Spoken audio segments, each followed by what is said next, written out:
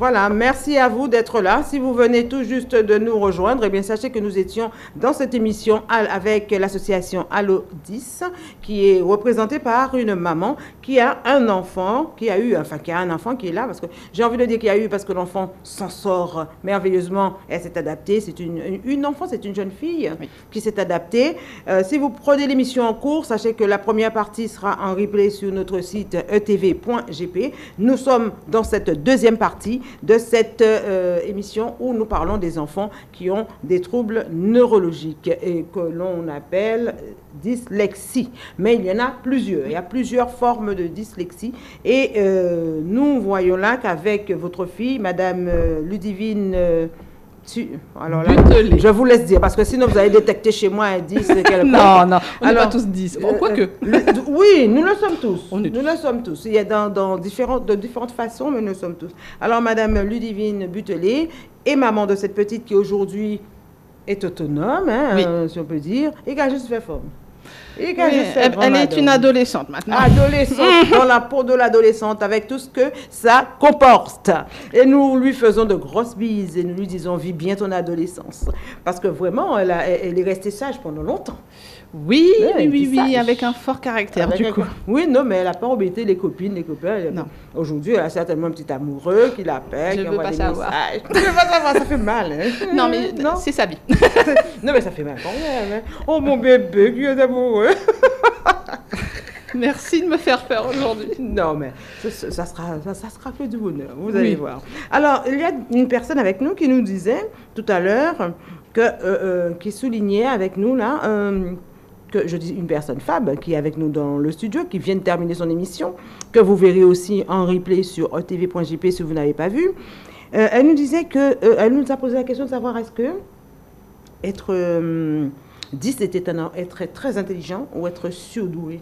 Alors, c'est, on est, quand on un, un, adulte, un enfant, un être humain, finalement, est 10, il est intelligent. Mhm. Intelligent, fort, mhm. voire surdoué. C'est vrai que souvent, les surdoués, alors c'est pas la peine de dire 145 de QI ou des choses comme ça, mhm. ont certainement ont parfois des troubles 10. Mais en tout cas, un enfant qui a un trouble 10 n'a pas, pas de soucis intellectuels. Ok. Là, c'est clair. Il faut qu'on le sache. Alors, concernant, euh, euh, concernant ces conseils que vous auriez à donner en tant que maman, quelle maman avez-vous été face à cette euh, dyslexie? Parce que multidis, elle était dans la dyscalculie. non, oui, alors elle était dans la dyslexie. Dyslexie. Dysorthographie. Dyspraxie. Et dysgraphie. Graphie. Donc, elle a calculé. Elle savait, elle savait, elle savait Ah oui, oui, oui, elle très bien calculé. Alors, il faut bien qu'on explique. Quand on dit dyscalculie, c'est quelqu'un qui a du mal avec les maths, qui a du mal à compter, qui a du mal à calculer, calcul mental, et etc. Donc la grammaire, euh, dyslexie. dyslexie pour écrire, euh, on mélange un peu les mots. L'enfant sait tout dans sa tête, l'enfant sait comment écrire maintenant, mais on va lui dire d'écrire. Elle écrira comme elle l'entend et comme, comme euh, elle a envie de croire cela possible. Voilà, et puis comme elle comprend en fonction du contexte dans lequel elle est. Voilà. Donc, euh, le, les troubles de, de désorientation, quelqu'un qui n'est pas, comme le disait toujours euh, notre ami, ce n'est pas, ça ne veut pas dire qu'on est dyslexique. Mais cela veut, pourrait être ça aussi. Alors là, je ne suis pas assez professionnelle. Non, mais ça pourrait être cela aussi. ça, peut être. Ça pourrait être cela aussi. Disons que ce qu'il faut bien comprendre, c'est qu'il n'y a pas un seul trouble. C'est souvent mm. associé à d'autres troubles, et notamment le trouble de l'attention. Euh, mais quand on est dyslexique, il y a souvent mm-hmm. un autre dys. Donc c'est un petit peu tout ça qui se qui se ce qui fait qu'un enfant mm. qui peut avoir les mêmes troubles d'un autre enfant en, en classe n'est mm-hmm. pas forcément la même difficulté. À retenir, par exemple, si on te donne à retenir euh, euh, les tables de multiplication, que tu les mélanges, que tu les mélanges, et en même temps, euh, tu as du mal à tenir ton stylo correctement. Donc, il y a deux 10 là. C'est surtout qu'il y a deux informations, deux informations. qui s'entrechoquent. Voilà. Et du coup, ça fait trop dans son mhm. cerveau. Donc, c'est comme si ouais. il déconnecte. Ça, déconnecte. ça s'arrête. Et ces enfants-là n'aiment pas l'école. Ils préfèrent rester à la maison. Bah souvent parce qu'on va les traiter de fainéants. Mm. Oui, surtout, ils vont être pris différemment par leurs camarades. Donc tout ça, c'est juste, c'est une question d'adaptation. Mm. Euh, c'est le, par exemple, les tables de multiplication. Nous, on les a appris, enfin avec ma fille, on a mm. travaillé avec des dessins. Mm-hmm. Euh, on a travaillé avec la technique des doigts. Au lieu de les apprendre 1 fois 3, 3, 2 fois 3, 6 c'est l'adaptation. On l'a pris en contine. Mhm. Et le jeu a permis d'acquérir des apprentissages. Mais j'ai une de mes filles qui n'arrivait pas à se souvenir, à se rappeler les, les- les jours de la semaine. Oui. Alors, on, on a fait une chanson. Voilà. Et du jour au lendemain, il les a su jusqu'à aujourd'hui. Et il n'y a pas besoin d'être 10. Et il y a pas besoin d'être 10. voilà. Là, là euh, quelqu'un que.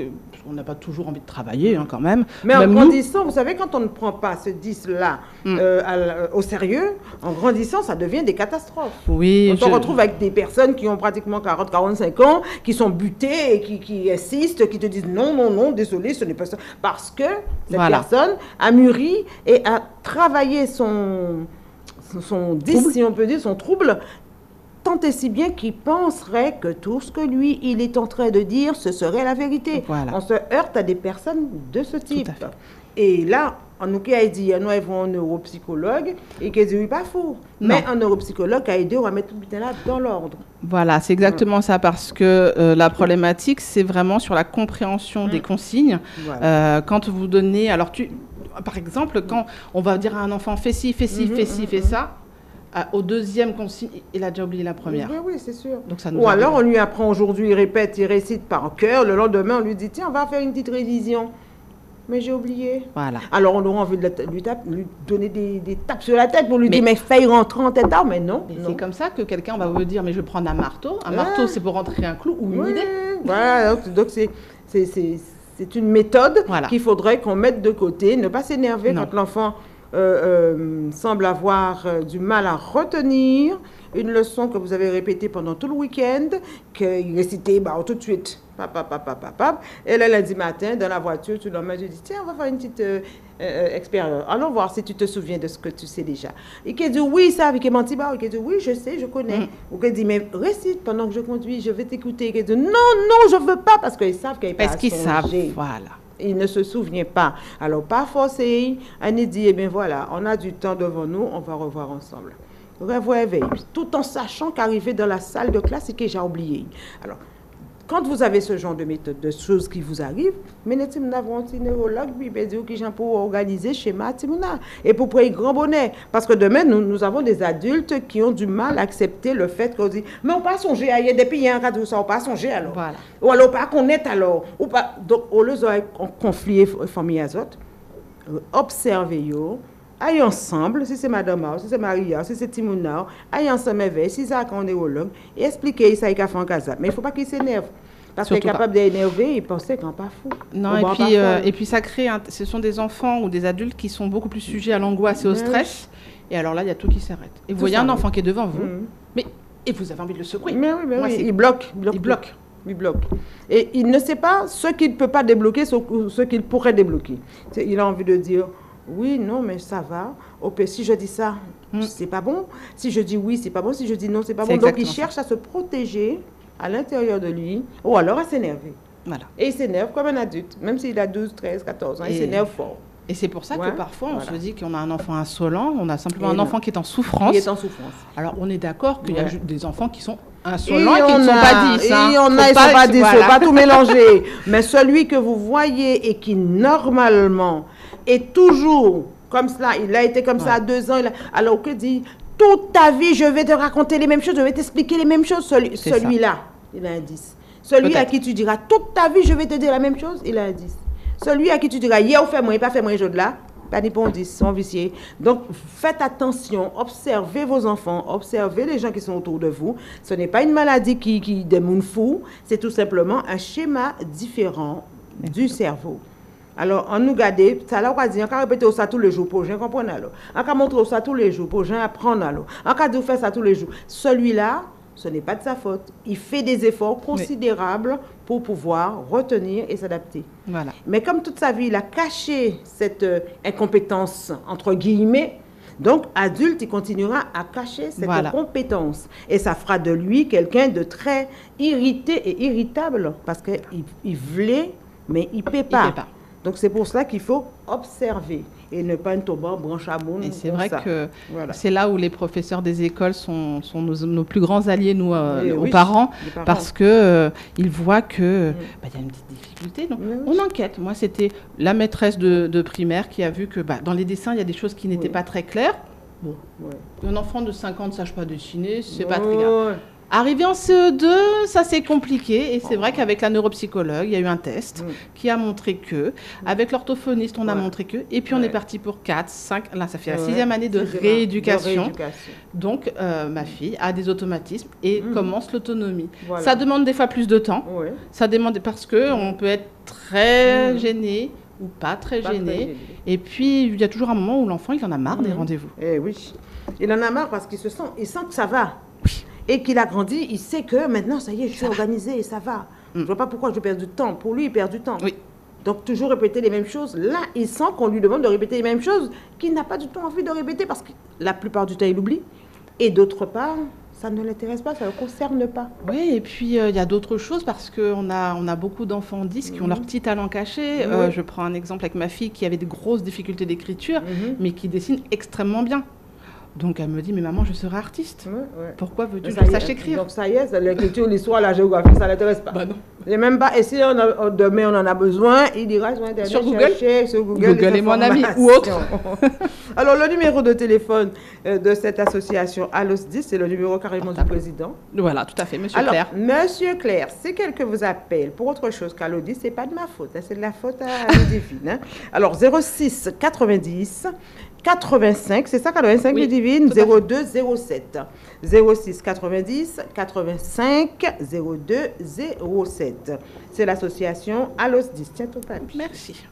Voilà. Alors nous poursuivons dans cette belle lancée avec vous, euh, Ludivine. Butelet, vous étiez donc maman. Vous avez sûrement des conseils à prodiguer. Comment faire pour euh, euh, que nous puissions, qu'une maman qui aurait un enfant soit en- à la maternelle, soit au CP ou euh, au collège ou au lycée, comment faire Oui. pour pouvoir euh, Au aider lycée cet aussi, enfant les conseils, enfin, ce que vous avez appliqué, vous. Vraiment, la première chose, c'est les bilans. Les bilans qu'il faut faire parce que ça peut être juste une problématique d'apprentissage, mais s'il y a un plus grand trouble, euh, c'est le bilan, bilan avec le neuropsychologue. Euh, alors, je vais le dire tout de suite, c'est entre 250 et 350 euros. Il faut quand même se préparer. Et puis après, c'est les bilans avec l'orthophoniste, Mhm. avec l'orthoptiste, avec le psychomotricien. Mhm. Et tout ça, ça va donner un schéma, une carte qui va pouvoir mettre en place une stratégie pour l'accompagner euh, selon et adapter, travailler de concert avec l'équipe pour adapter les supports. D'accord. Voilà. Non, ça, c'est une première chose. Voilà. Mais quand l'enfant commence à rentrer dans l'âge difficile, qu'est-ce qu'il faut faire? Il faut continuer à être une maman-maman, c'est puis quand il faut comme les Il autres. faut une super équipe. Comment on fait? Le Il papa, la maman, la mamie, tout le monde. Et il faut vraiment, alors c'est vraiment extrêmement important de mettre toute l'équipe, les amis, la famille, parce que l'enfant n'est pas différent, c'est Ouais. juste son chemin qui est différent. Euh, c'est comme soit on prend l'autoroute, soit on prend Mhm. les chemins et ben voilà. Il faut lui apprendre des choses et tout le monde ensemble. Et tout le monde ensemble, c'est vraiment un travail d'équipe parce que euh, ben, ça demande une grande flexibilité est-ce que de les temps. parents acceptent aussi hein, euh, Parce que des fois, il y a des parents qui n'acceptent pas qu'on dise à l'enfant Non, ma chérie, c'est pas ça. Tu fais Ah, papa, tu m'en laisses, Voilà. Donc, ça, là aussi, il faut, exactement il ça. faut une éducation à ces personnes aussi. Oui, parce que vous savez, hein, quand on a des enfants, c'est l'enfant parfait, Ben on rêve de bac plus 5, Mhm. on oublie. Ça, oui. On n'oublie pas, hein. les enfants peuvent faire bac plus Ils 12. peuvent faire bac plus, Euh, plus, plus. Mais euh, je, veux savoir, est-ce que euh, la maman, le papa de cet enfant accepte aussi qu'on aille lui dire, parce que déjà c'est le parent qui se sent visé. Hein. C'est de la faute, c'est dans le Ouais. ventre de la mère. Ah bah d'accord. connaît tous ça. D'accord. Non, c'est vrai. Il y a des parents ça- qui se sentent visés quand le- on, on- on reprend un enfant. Pas bâtir l'éducation. Voilà, on a un gros problème. C'est vrai que dans l'association, on voit qu'il y a beaucoup, beaucoup de mamans qui sont Mm. surinvesties. Ça, ça crée parfois des tensions dans les familles. Non, euh, oui. Euh, parce que déjà, ça demande du temps, parce Mhm. qu'il faut être là dans les rendez-vous. Donc, ça veut dire qu'on arrête de travailler, il faut Mhm. qu'on emmène. Mais il y a des papas qui sont aussi investis. Et il y a des papas, voilà, j'allais le dire. Ah. hein, non, non, attendez, c'est très important. Il y a des papas qui sont investis, il y a des papas qui adaptent, euh, pareil, qui prennent leur temps. C'est beaucoup, beaucoup de patience. Voilà. Parce qu'on peut avoir un enfant qui acquiert une compétence et tout à coup, elle n'est pas là, il faut Mm. qu'on revienne dessus. Donc c'est Eh beaucoup oui. de patience, Eh oui. beaucoup de communication dans la famille. Et puis papa, maman, mais il faut penser aussi à la fratrie, Mhm. et les frères, les Oui. sœurs, parce que du coup, c'est beaucoup de temps pour cet enfant-là qui est consacré. Alors, nous avons une minute pour finir. Nous savons que euh, la dyslexie euh, euh, intervient, on peut détecter cela depuis le plus jeune âge de l'enfant. Maintenant, euh, qu'est-ce qui serait le mieux? Comment faire? Comment faire quand on détecte quand il est tout petit, comment on fait? C'est toujours le même cheminement Oui, c'est le bilan. neuro- Voilà, c'est le bilan neuropsychologique Ouais. dans un premier temps, et Mm. puis vraiment un travail en vraie collaboration avec l'équipe pédagogique de l'école. D'accord. Et puis quand il y a vraiment une reconnaissance du handicap, Mhm. quelque chose qui est très important, c'est de faire son dossier de prise en charge par la maison du handicap, parce que du coup les frais Mhm. peuvent être pris en charge Très bien. euh, en collaboration Et, avec et la ça CAF. ne veut pas dire que c'est parce que tu es en situation de handicap, Handicap. c'est tout simplement parce que ça peut faciliter les soins qu'a été Voilà. À aller chez l'orthophoniste, à aller chez le ceci, à aller chez le cela. C'est juste pour lui apprendre retenue pour une brique là, c'est pas ça qui est reprononcer, c'est pas ça prononcer, songer, tu vas apprendre songer. En tout cas, il ne faut surtout pas avoir peur, ni du neu- neurologue, ni du pédopsychiatre, ni celui là, c'est un pédopsychologue, pas pédopsychiatre, pédopsychologue pour les enfants. Tout ce qui est autour, c'est pour lui permettre de mettre ce qu'il a dans sa tête à l'ordre du jour. Voilà, mettez dans l'ordre. Merci en tout cas d'être venu nous Merci parler de, de cette, euh, ce trouble psychomoteur, psycho, euh, Neurologique. psychologique. Neurologique. Ouais, Neurologique. Faut qu'on nous dise psychologique. Non, pas que- psychologue. Oh là Oh là. Oh là là. Oh là. Bien. Alors nous allons y aller. Merci encore. Nous Merci, vous revenir si jamais nous avons besoin de vous et si les parents ont besoin de vous. Le numéro de téléphone, c'est le 06 90 85 02 07. Merci Ludivine Merci. Raphaël. Embrassez toute votre petite famille. Merci à l'équipe technique, Murphy. Euh, bisous à Fab qui nous a fait sa première rubrique aujourd'hui qui était magnifique avec Rimet dans nous. On s'embrasse et on se dit à une prochaine fois pour une prochaine émission, le replay sur etv.gp.